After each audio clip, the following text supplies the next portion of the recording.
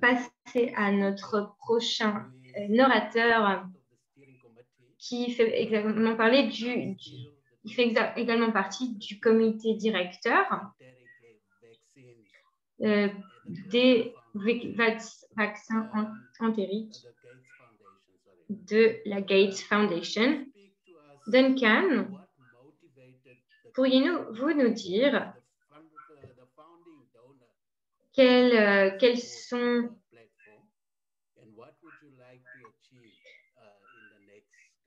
donc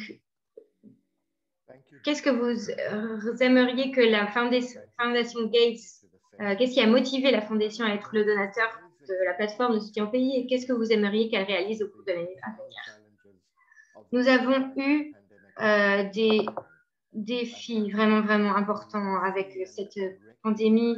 Donc, je reconnais bien évidemment les sacrifices que tout le monde a, fait euh, tout autour de cette table et tous les, les rôles et et vous êtes vraiment, vraiment les héros. Donc c'est pour cela que j'ai une gratitude vraiment très importante pour vous tous. Par rapport euh, au Covid-19, il faut bien sûr continuer à se battre pour euh, lutter contre le choléra. Donc, par rapport à votre question, le soutien de la Gates Foundation par rapport à la choléra, c'est depuis le tout début, euh, donc c'est-à-dire il y a à peu près 20 ans, on a investi dans le développement des vaccins, dans d'études pour comprendre l'épidémiologie du choléra. La plupart des, vaccins sont bien évidemment des outils pour sauver des vies et donnent une opportunité au, court terme pour contenir l'impact du choléra, ainsi euh, de le temps de pouvoir mettre en place les infrastructures pour combattre euh, tout cela sur le long terme. Nous avons fait énormément d'avancées euh, grâce au GTFCC par rapport au vaccin du choléra. Et il y a énormément de, vaccins qui ont été utilisés euh, au cours des 7 et 8 dernières années. Ces récents développements ont besoin de plus de preuves par rapport à la lutte contre le choléra. Le Covid-19 a créé encore des millions et des millions euh, de morts. Et cela a donc complètement pris l'attention et accaparé l'attention et redirigé l'attention vers le Covid-19 plutôt que sur les autres maladies. Donc, les partenariats du GTFCC sont très importants. Nous, nous savons que par rapport au problème du choléra, nous, avons besoin de solutions innovatrices, euh, des financements qui soient vraiment dédiés à, parler du choléra. Donc, il y a des questions sur cela dans la conversation.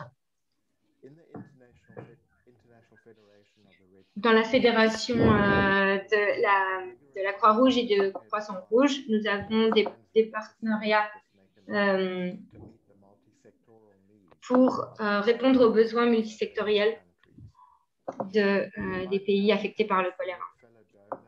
Finalement, j'encourage les autres donateurs de profiter de cette opportunité en dirigeant leur investissement vers euh, la prévention dans les hotspots en utilisant la plateforme de pays. Il est important que les donateurs en matière de EHA euh, comprennent qu'il s'agit vraiment de la solution à long terme du choléra. Nous croyons que les vaccins peuvent euh, fonctionner en tant qu'un pont pour l'élimination du choléra pendant que les ressources sont mises en œuvre. Nous avons aussi entendu euh, le besoin d'investissement dans, euh, les, euh, dans les volets de laboratoire et de surveillance où il y a des lacunes de financement. C'est donc un autre investissement qui doit être considéré. J'espère donc que dans cette année qui vient, je verrai davantage de soutien dans cette plateforme de pays.